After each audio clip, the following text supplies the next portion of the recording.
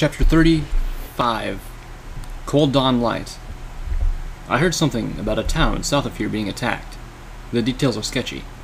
All I know is there haven't been any refugees showing up here, which means either the attack wasn't too bad, or it was very, very bad. Heroes. We all need heroes, children. Now more than ever. It's a good fight that they're fighting, and they do it on behalf of us. But the Equestrian Wasteland is hard on heroes. No, it's brutal to them.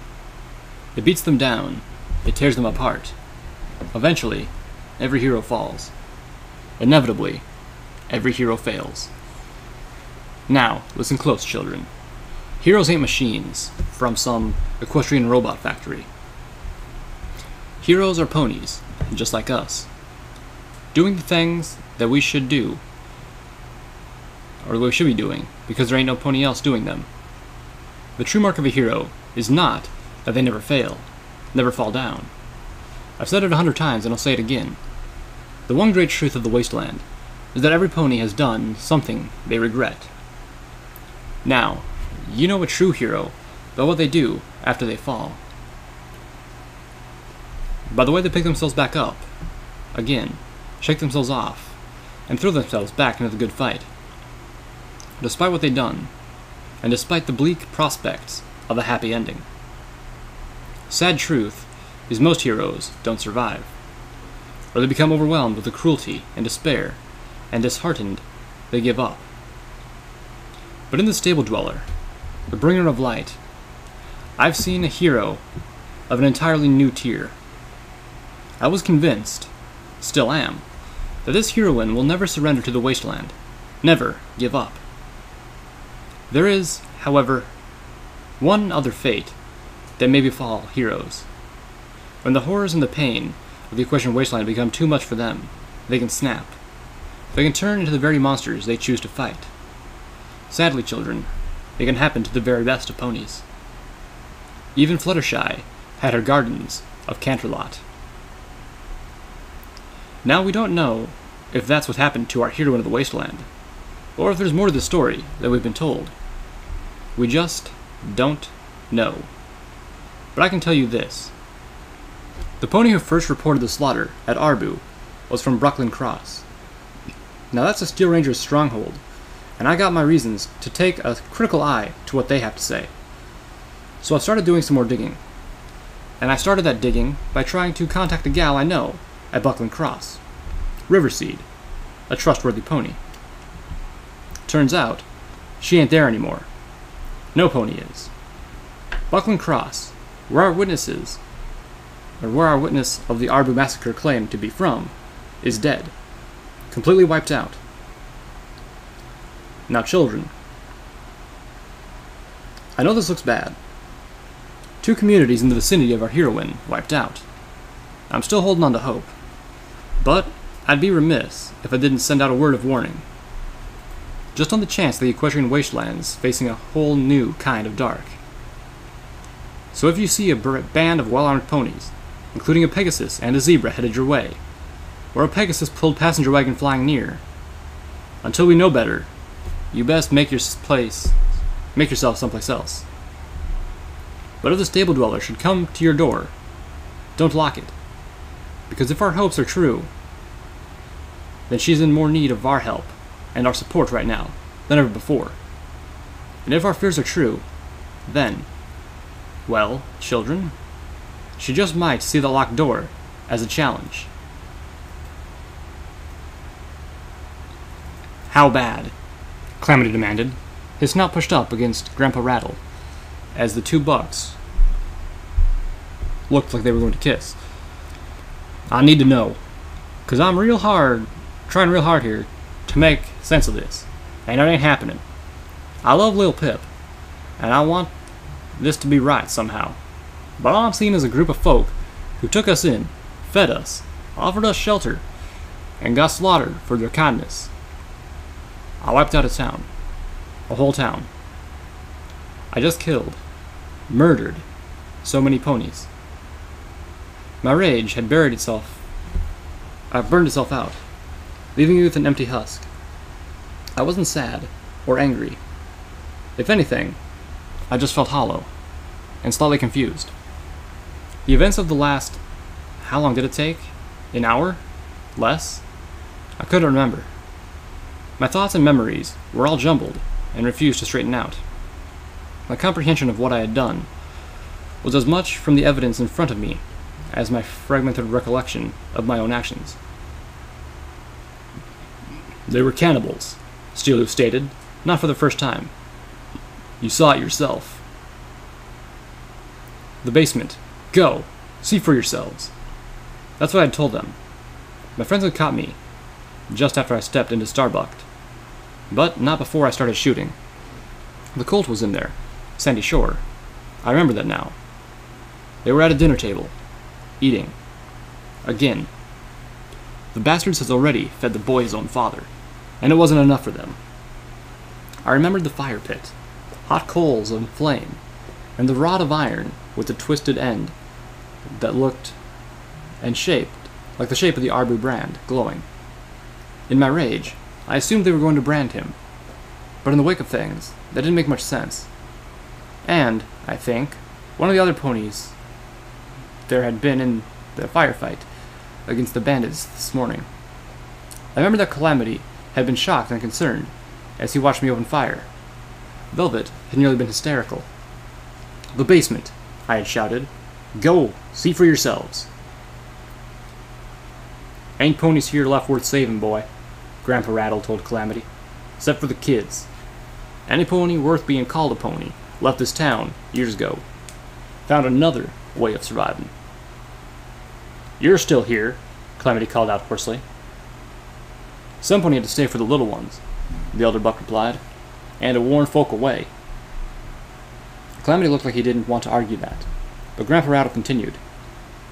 Every other pony here is a willing part of murder, and worse. Those who didn't, some went to Friendship City or Gutterville. Some just joined up with the bandits. Hell, boy, half the folk you shot this morning used to live here. Calamity reeled a bit at that revelation. The little ones, the children of Arbu, were huddled together behind Velvet Remedy's shield spell.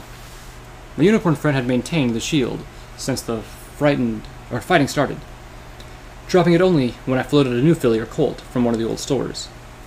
She hadn't fired a shot the entire time. Just stood there, inside her shield, guarding the children. By the time had come out of Starbucked, the colt and two fillies in tow. The others had come out of the clinic. They had seen what I've done. But by then, it didn't matter. The rest of the town was awake, and they were shooting back. If it hadn't been for Velvet Remedy, the town might have killed its own children in the crossfire. Calamity had shot back in self defense, firing to wound and incapacitate. I remembered his look of horror as I finished off a pony he had taken out of the fight through crippling. Steelhooves had also fought defensively, letting me enter each place first. But unlike Calamity, my ghoul friend didn't pull his bucks. Custard Pies was burning from the missiles he had fired.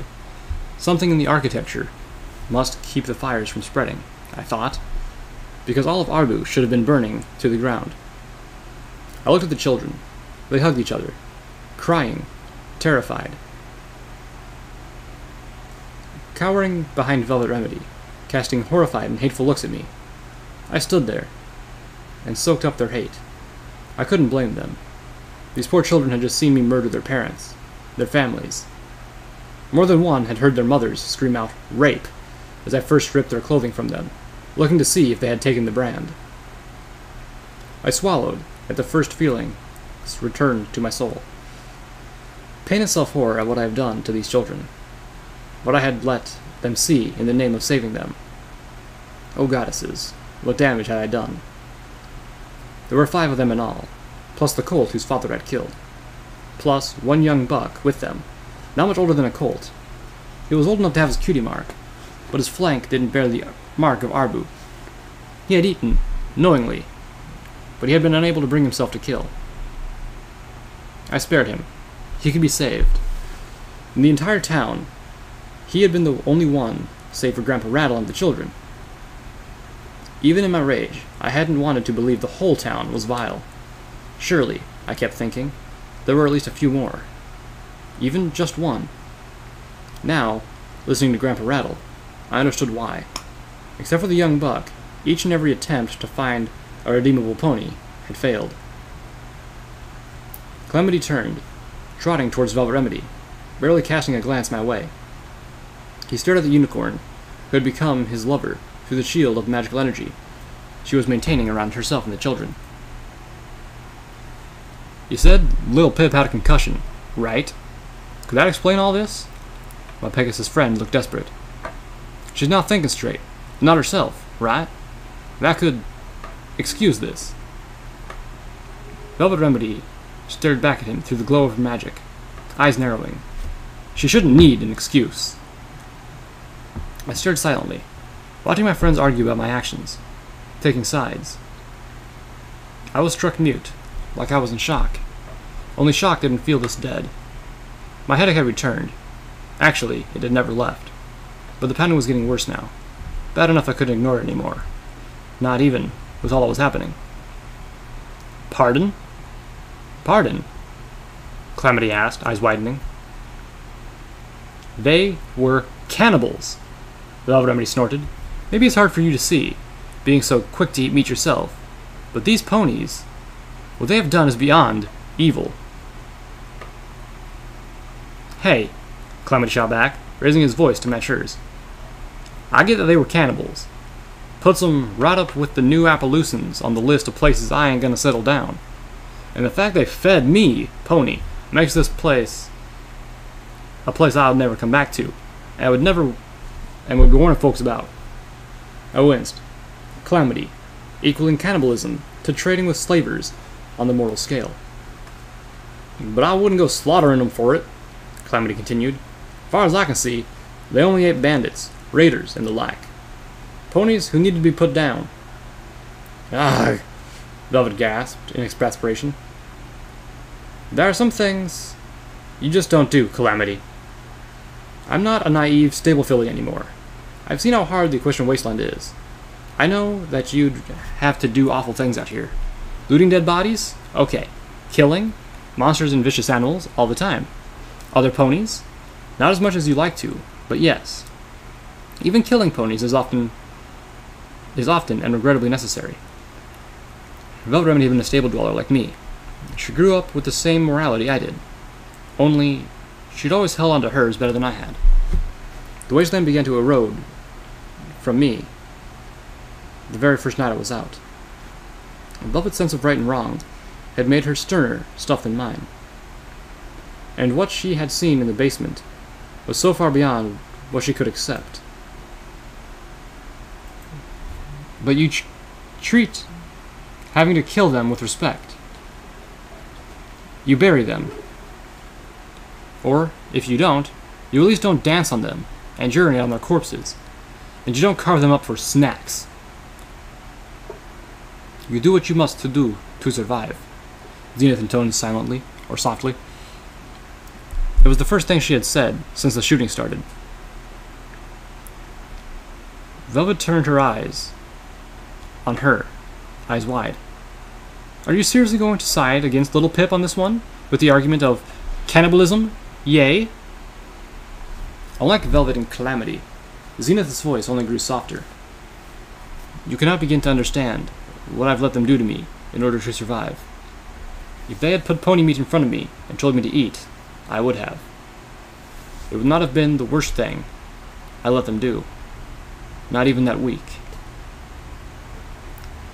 Velvet took a stumbling step back from the dour zebra, turning to Calamity. They didn't just kill bandits, Calamity. You saw the herd of the preacher, head of the preacher pony. They had it mounted on their wall like a trophy. And if they murdered him, how many more? I reckon I don't know, Calamity replied. The Point is, none of y'all really do either. They fed you the meat of ponies you killed. Probably fed you the heart of one of them, Velvet continued. Ain't happy about that. And they've been selling it to merchants, spreading their filth across the whole wasteland, Velvet pointed out, a hoof towards the children, clutching from behind her. And they have be- been indoctrinating a whole new generation to do the same. Velvet, I said softly. Too softly to be heard. Don't defend me, Velvet. You were right about me back in old Appaloosa. I'm a murderer. A monster drowned in the blood of all the ponies I've killed. I'm the thing in the mirror, no better than a raider. Except I wasn't. Was I? These were bad ponies. They needed to die. I was saving ponies by wiping them out, wasn't I? Corrupted kindness, the little pony in my head said angrily. Arbu wasn't a town full of ponies, Velvet Remedy asserted. It was a cancer that needed to be destroyed before it could spread any further. Velvet, I said again, a little louder. Calamity was staring at her in silence. Neighing loudly, Velvet exclaimed. Arbu was mutilating flesh that it had to be cut away in order to save the wasteland, and before it could even begin to be healed. Velvet, you're scaring the children. My voice was soft, but just loud enough for her to hear. The beautiful charcoal unicorn turned, aghast, tears forming in her eyes as she looked at the terrified expressions on the faces of the fillies and colts behind her. I'm not corrupted kindness, I whimpered back at the mare in my mind. I don't believe it. Not anymore. Trixie had been right. Or, I had made her think. If you haven't found your own virtue yet, Monterey Jack told me, you'd best hurry up. While there's still anything left of you to save. Was there anything left of me to save? You just slaughtered over 20 ponies. The little pony in my head responded. What do you think? My head was splitting open. I realized I was crying. Calamity turned, turned to Steelhooves. Now, what about you? What about me? Steelhooves responded, lethargically. Calamity shook his head. Is this. Is there a way for me to be okay with this? I want to be okay with this. For Little Pip, but. Little Pip is our leader, Steelhooves replied. It was her call. It was. Calamity blinked, his brow furrowed under his hat. It. Oh, hell no! The Pegasus launched himself into the air, flying up to the Steel Ranger outcast. Steelhoof stood his ground. The idea of Calamity intimidating a huge ranger struck me as ludicrous. You're the elder of Applejack's Rangers now. You don't get to play the good old soldier card anymore, Calamity informed me. Tell me, Oh, what would Applejack think all this? Steelhooves' deep voice rumbled dangerously. Applejack was a farmer. What she didn't put into her friends and tried to save ponies, she put into her apples. She understood they needed to be rid of bad apples, and I think she would have been repulsed, beyond the telling of it, to see ponies eating other ponies. Calamity flapped his wings, moving back a pony's length. But to kill 'em all? Steelhooves whined. She wouldn't have done that. No. But she had other options. She could have had them all arrested, rounded up, and carted off to the Ministry of Peace, where they could be fixed. Calamity nodded. But that's kind of my point. Little Pip had options. She could have come to us. Why didn't she come to us first? I was hating how Calamity was talking about me like I wasn't there. Like he couldn't bear to acknowledge me. But then, did I deserve better? Would I have been able to look at him if he had just done the same to me? She was enraged. She was not thinking clearly. She Steelhooves informed Calamity bluntly. The only thing she's done wrong here is that she let her anger control her. Is that what you need to hear, Calamity? Then yes, I don't approve. I would prefer she had killed the monsters with cold blooded calculation. Steelhooves was right. Calamity was right. Right. I had totally lost it.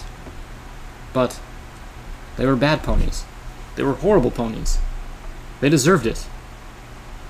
All of them. The little pony challenged. Even the young ones. I tried to save the young ones. I rescued them. But I had traumatized them in the process. Was what I had done any better than what the Raiders did to Silverbell?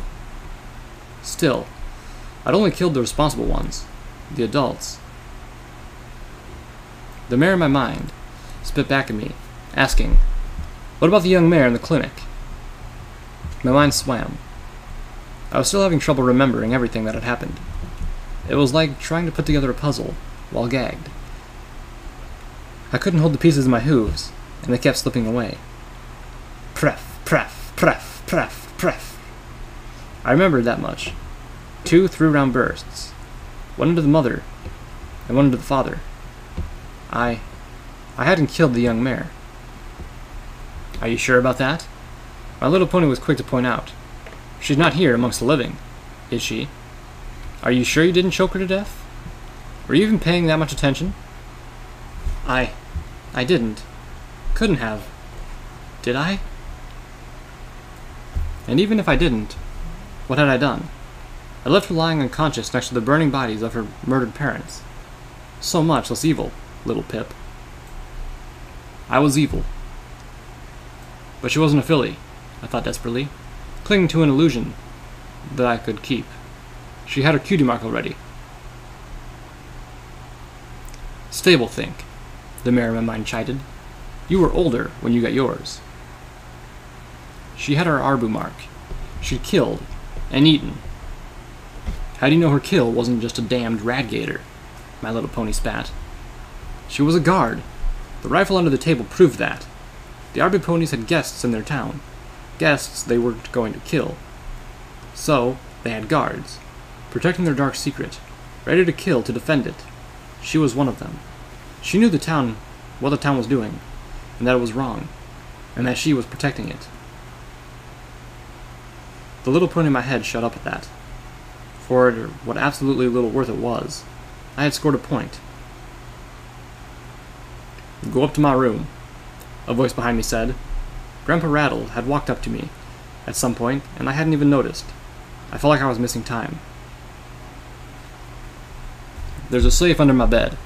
Fetch the book inside. I know you can pick a lock. I turned to him. It was like he was forever away. I had the sudden sense that I was drowning in this air around me. What's in the book? It's my ledger. Every pony they killed. Every pony they ate. Velvet Remedy had heard him. Why? She asked softly. Why would you keep a record of something like that? Because I knew this day was coming, Grandpa Rattle replied. And my mind ain't what it used to be, particularly in daytime. Velvet Remedy closed her eyes.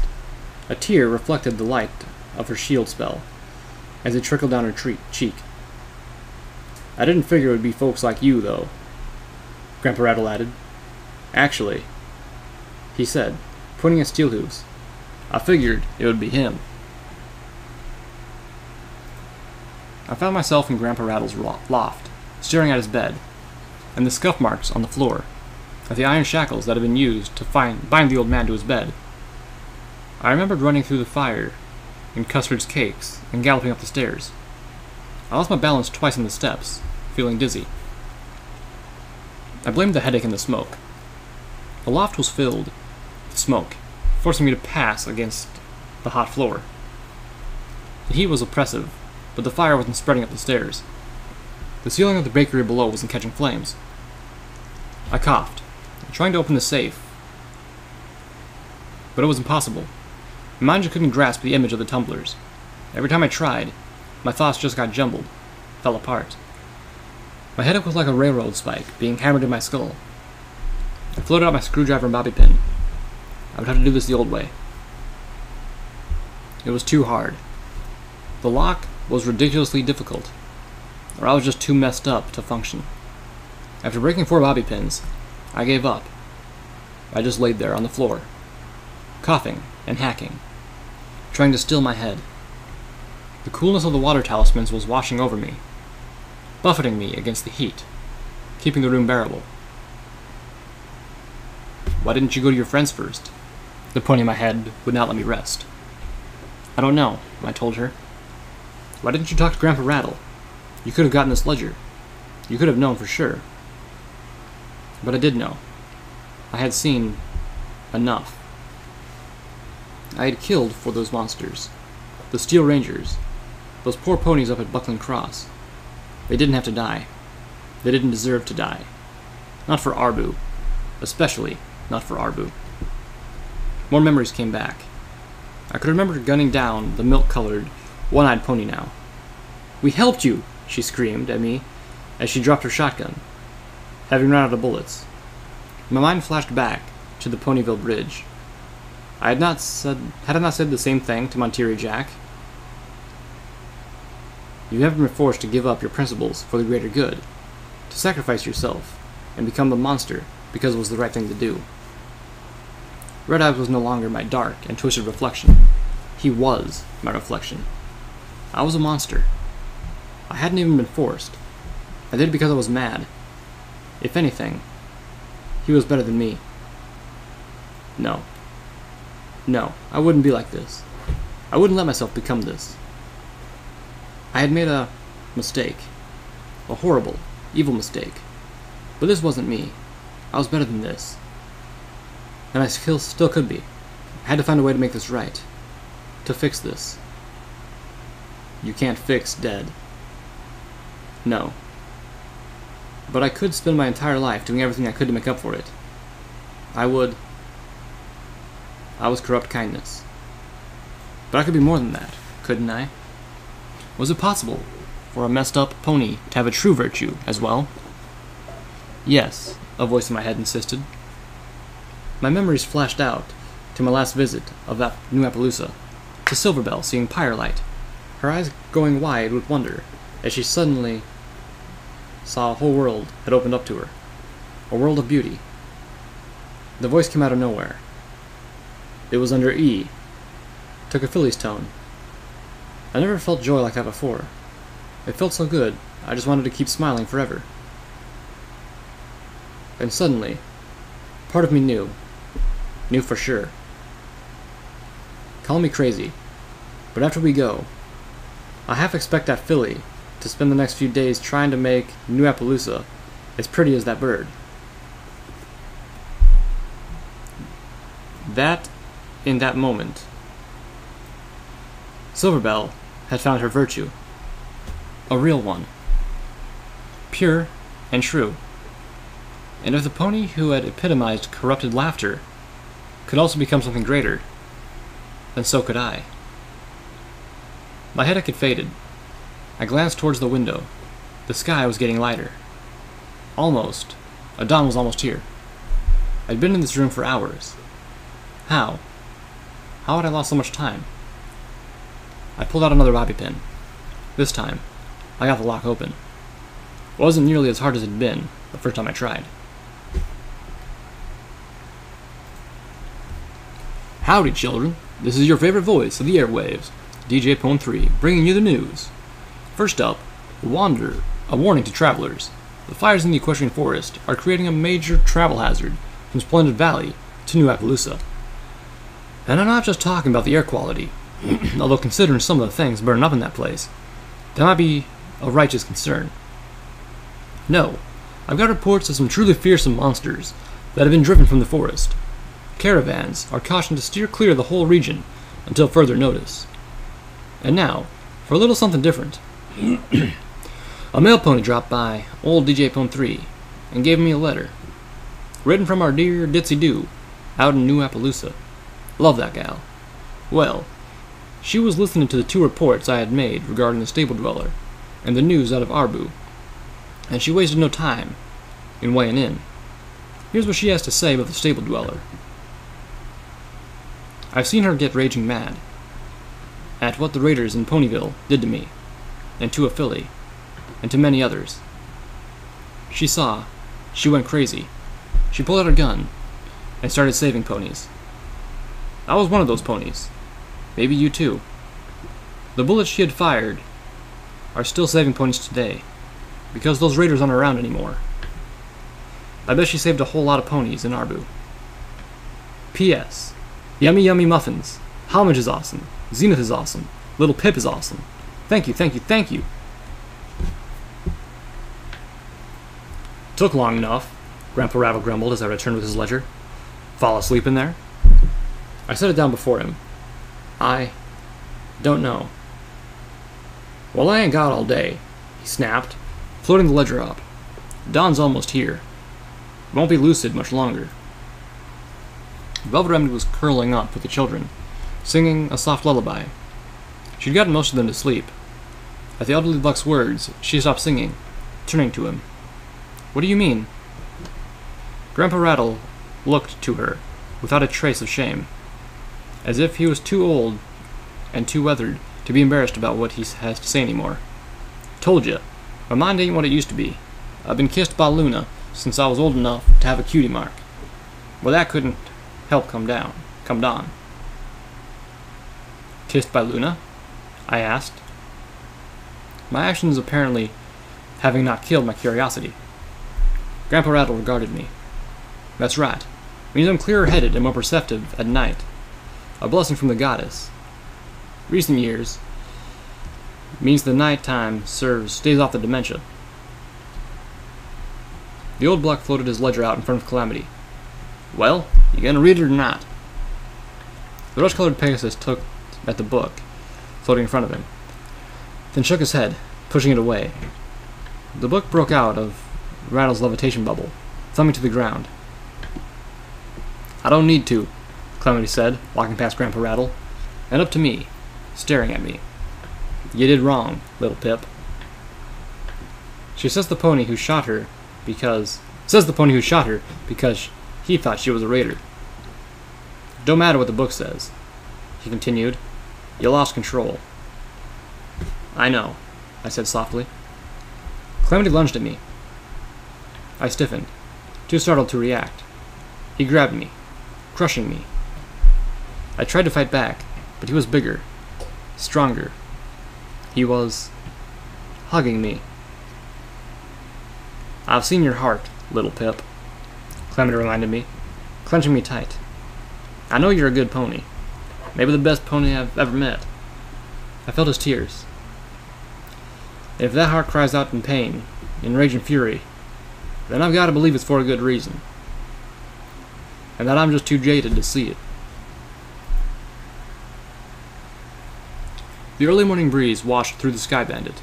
Six children, one young buck, and Grandpa Rattle all accompanied us, scattered about the benches of the passenger wagon.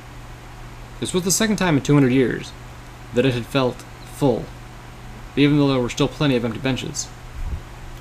Velvet Remedy had been nothing less than amazing in getting the Foals to come along with us. We were taking them to Friendship City, someplace that could be safe. Surely a place called Friendship would take them in, and if they needed persuading, I had a water, water talisman to offer. Now, Velvet Remedy's attention was on me. Her horn was glowing as she looked into my eyes. If it would make you feel any better to claim temporary brain damage, I could probably give you a doctor's note, Velvet chided. Your concussion was less than 16 hours ago, and what you've done since is pretty much the opposite of rest. It's at least three days flat till Canterlot. I reasoned. I'll rest on the way. My headache was back, although not as bad as before. I hadn't been able to eat, but I really didn't want to. I wasn't sure if I could ever eat again. I would never put meat in my mouth for as long as I lived. Velvet nuzzled me softly. But you shouldn't. Never need to use excuses for yourself, I mean. You didn't do anything wrong. She took my face in her hooves and made me look into her eyes. I know you, little Pip. I can see that you've been bucking yourself to pieces about this ever since it happened. Possibly even while it was happening. You're not a monster. You're not a villain. You're a mare who loves ponies and cares about them, and who finally had seen too much hurt too badly to stand it any more. Goddesses, if only we were all like you. Velvet? Something in her voice worried me. She looked down, dipping her horn. If anything, or if any pony is a monster here, little Pip, it's me. What? No, that's. Yesterday, you killed a bunch of ponies who were murdering and eating other ponies, she said softly, a tone of real sorrow in her voice. Yesterday, I put the life of my pet above the life of a pony. I shook my head quickly. And now it was my turn to make her look into my eyes. You put the life of a beloved member of this group, a thinking and feeling creature, above the life of a pony who shot her. Velvet gave me a wet, grateful look, but said nothing. What are these marks? Steelhooves asked Grandpa Rattle. Calamity may have neglected the ledger, but the leader of Applejack's Rangers was giving it a close inspection. So what now? Grandpa Rattle asked. Hey, how'd you get my ledger? You gave it to me, Steelhooves said evenly, patiently. Oh, he looked around. We're leaving Arbu, aren't we? It's not the first time Rattle had seemed surprised at the change in his surroundings. Yes, Steelhooves said. Now, if you please, what are these marks? Grandpa Rattle peered at the ledger. That there's how many times I warned folks off, before the others killed him. One mark for each time I told 'em I have a shotgun. I see. For him to keep such records of his attempts to help, Xenith leaned close, whispering to me, I suspect he was not expecting rescue at all. He was preparing his defenses. Grandpa Rattle turned his appraising gaze to Steelhooves. You're him, ain't you? Steelhooves looked up from the ledger. Excuse me? You're Paladin Steelhooves, he explained. I remember you. You're that ghoul my daughter kept lusting after. Velvet Remedy's eye, ears perked up. I stifled a laugh. Steelhooves nickered and tried to turn his attention back to the ledger. You must be mistaken. No, you're just none too perceptive, Grandpa Rattle insisted. Never knew she was even there. Always pinning for Applejack. Steelhooves looked up abruptly. Do I know you? Scribe Rattle. Grandpa Rattle paused. Former. Left after my daughter got pregnant. As Steelhooves' quick stomp, Rattle swiftly added. Not yours. With that buck, what's his name? From Arbu? Steelhooves cocked his head slowly. Scribe Rattle. Transformation magics. Abandoned the Rangers after your daughter was disgraced. I remember now. Grandpa Rattle's expression darkened, but he nodded. You knew transformation magics? Xenith asked. Yep. Steel Rangers was trying to figure out a spell to turn Steel Ranger armor into clothing and back. Wouldn't work, I told him. Armor's already full of spells. He looked suddenly eager. I can change your rifle into a stick if you'd like. I've got a shotgun. I do not have a rifle, Xenith pointed out. Oh. He turned to me. How about you? Can you change it back? I asked. Uh, no. He had a stick. Looking past him, my eyes caught one of those young, that young buck that I pulled out of Java Cup. The young buck had been staring at me, silently, since laying down on one of the Sky benches at the start of the trip. You have no Arbu mark? I recalled asking him, my heart almost giddy with relief. No, he had told me back, told me back into a corner of his room. Last week I was supposed to kill a mare and eat her heart, but I couldn't. I'm sorry. I know I was supposed to, and Daddy was furious. He. Then his expression changed to a flash of hindsight. You killed Daddy, didn't you? There had been such a look, an odd look in his eyes. It wasn't blame, it was resignation. Now, for the first time since then, he spoke. What happened to Clear Glass? It took me a moment to realize that he was talking about the other pony in Arbu of similar age, the young mare guard. The mare I hadn't intended to kill, but who I was sure now was choking that I had choked to death without even thinking. I cringed, looking for words. I killed her. The voice wasn't mine. I turned to look at Steelhooves in surprise. Coming up on Friendship City, Calamity called out before anything else could be said. This time, let me do the talking, Velvet said to Steelhooves. Your diplomacy leaves a lot to be desired. The ghoul nodded wordlessly. The events of the night before were weighing heavily on him, and for him, Arbu was not the heaviest burden. I got up, steadying myself, as I was hit with an odd dizziness. It passed, and I moved to the window, staring out at the pony of friendship, a huge statue made of green metal that stared out over the Manhattan harbor. Living inside that metal statue, uh, surrounded by water, was an entire town of ponies.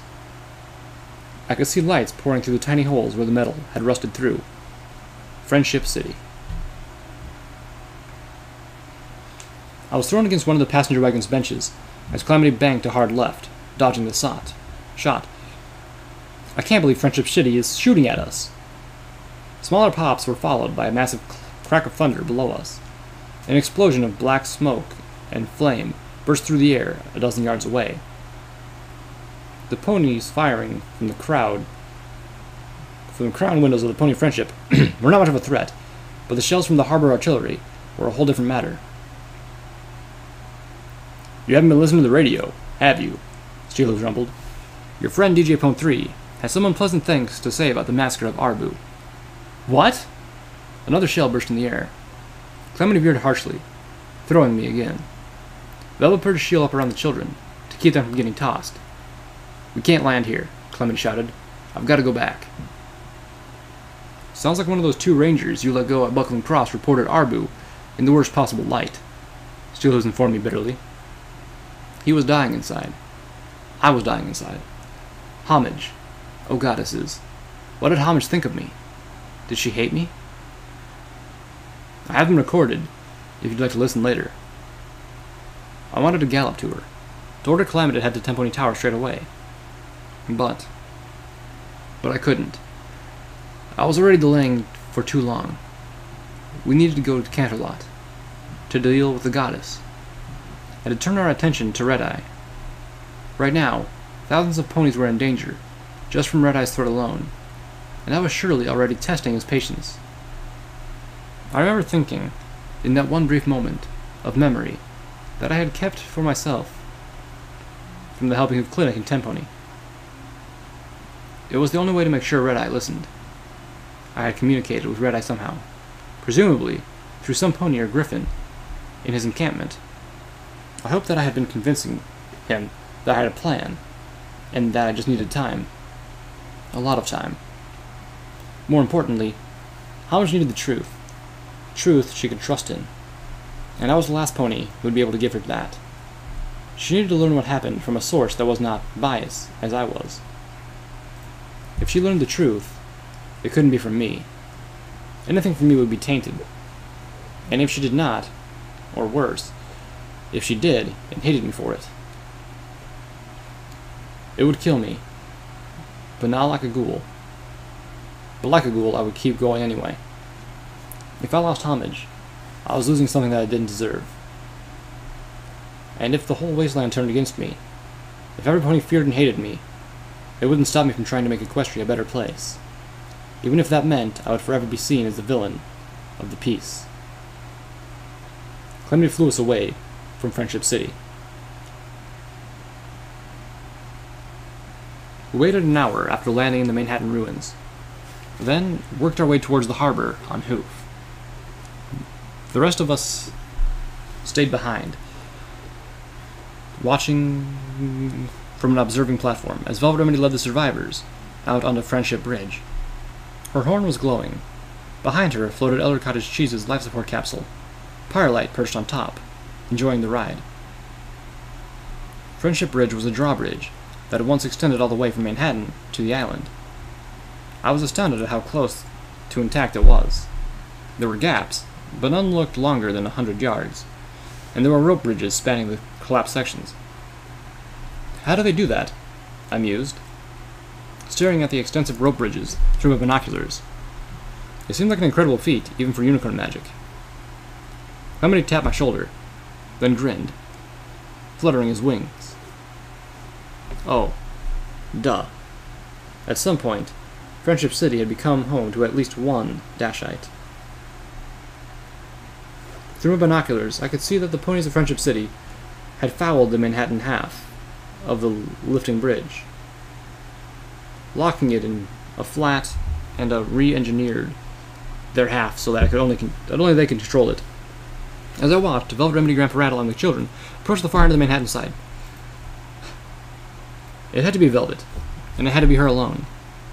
DJ Pone 3's warning of painted, painted Xenith and calamity as signs of danger, and only Velvet Remedy had the diplomatic skill to talk to the ponies of Friendship City into letting the survivors in.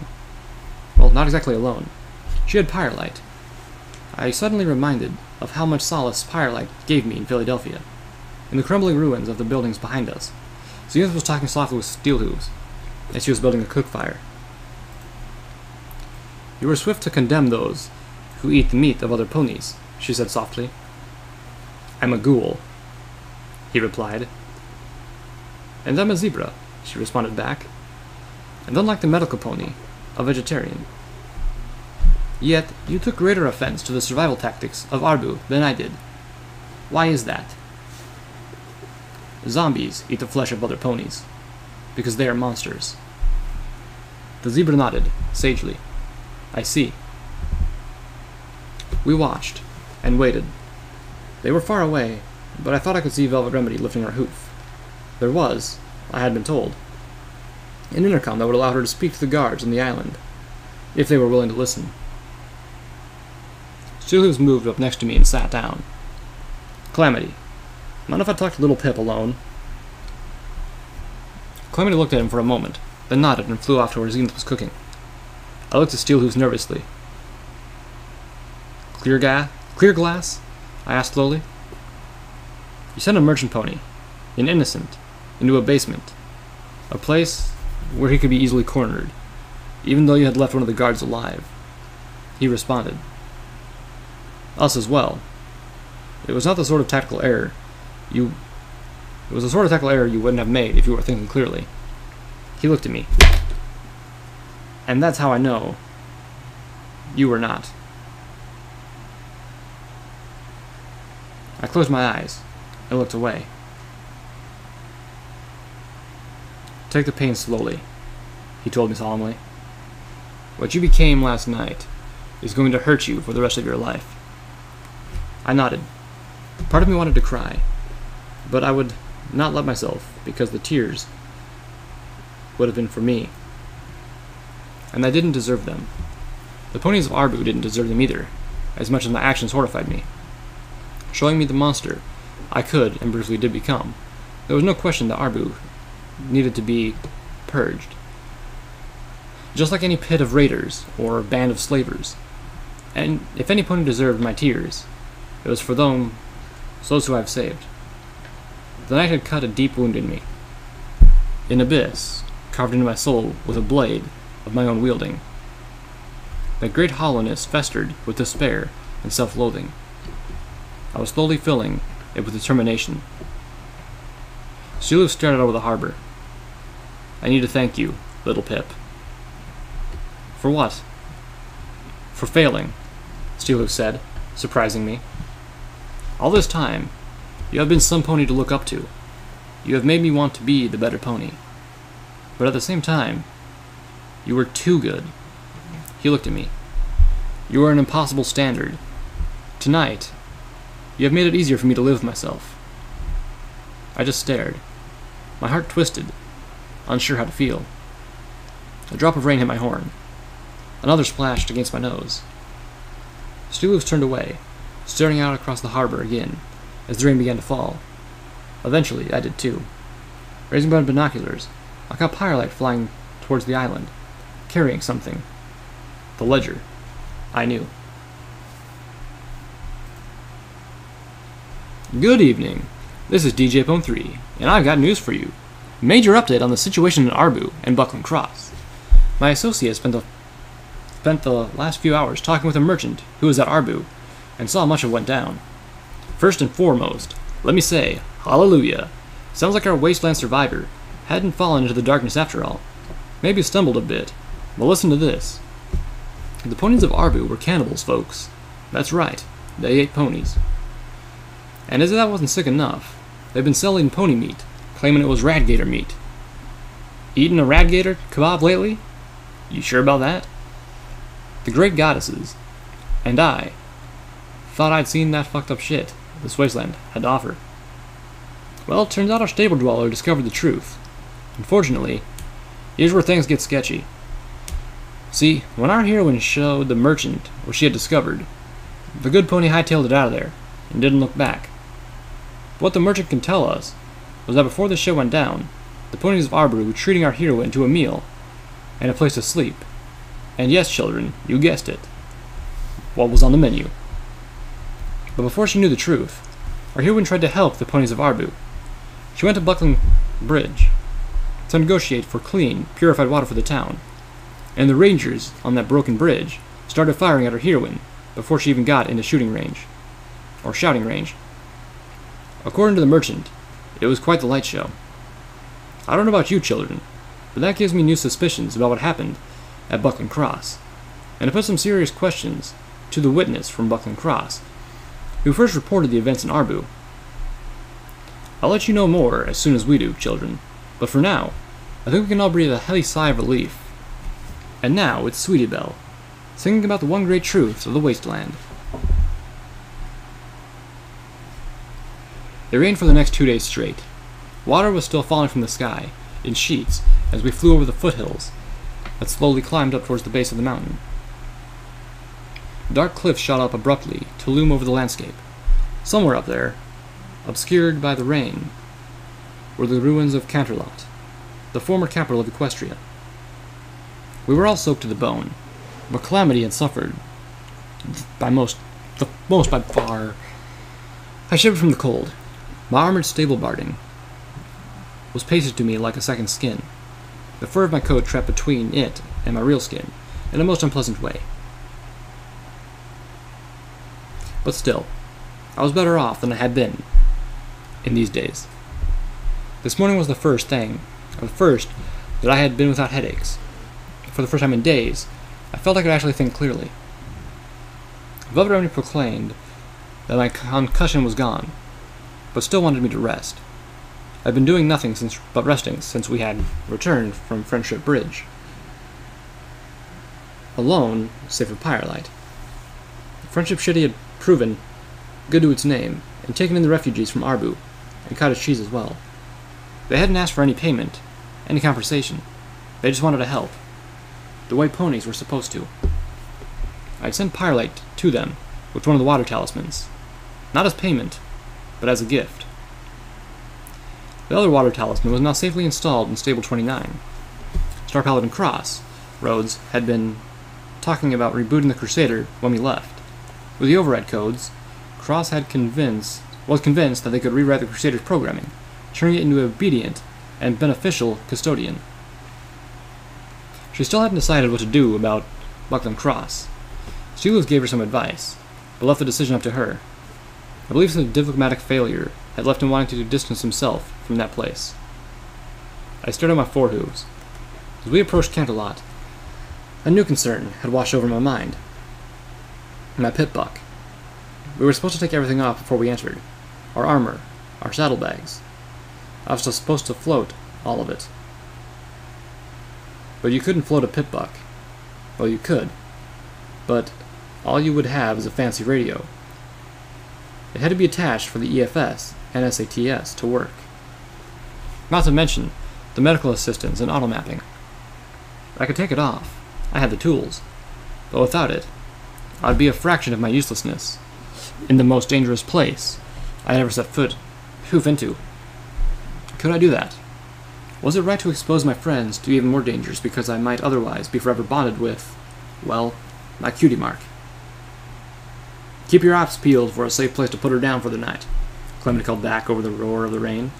To be honest, none of us were as concerned about safe places as we were about to dr- as we were about dry. We all moved to the windows. I looked at my binoculars, but they did little good. They just made the gray of the rain closer. Suddenly, Steelhooves galloped to the front of the Sky Bandit. A moment later, he turned to me. Little Pip, can you get me on the roof? Can you stay on the roof? Velvet asked, concerned. Even with the mounting? What's wrong? I asked, even as I kicked on my EFS, it answered my own question. With my targeting spell, I could recognize several hostile targets. At least a dozen were airborne.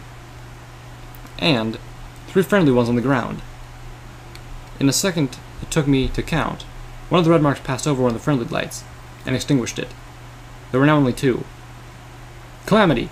I shouted as I drew out my sniper rifle. Get us as close as you can. We need to see what we're shooting at. Floating up the sniper rifle, I slid into SATS and took aim at the shadowy flying figure I could not clearly see. The targeting spell, however, didn't give a damn about the rain, and my EFS was quick to identify the targets. Bloodwings. A whole damn flock of them. Attacking two fleeing figures on the ground. As best I could tell, they were completely unarmed. I opened fire out there, determined not to allow that number to drop any further. Hello out there. Any pony awake? It's time for a special late night edition of news. I have with me, communicating over broadcaster, one Grandpa Rattle, longtime resident of Arbu, and new citizen of Friendship City. He's here to set the record straight. The whole pony about what went down three nights ago. So sit down and hold on to your hats, children, because this is going to be one hell of a story. But first, I have something I want to say. And this goes out from me to that hero of the wasteland, our little bringer of light. I'm sorry. When you've seen as much as I have, when you see how many heroes fail and fall, it's hard not to expect it. It's hard to keep believing, even when you know there's some pony out there you should believe in. You didn't fail a stable dweller. I failed you.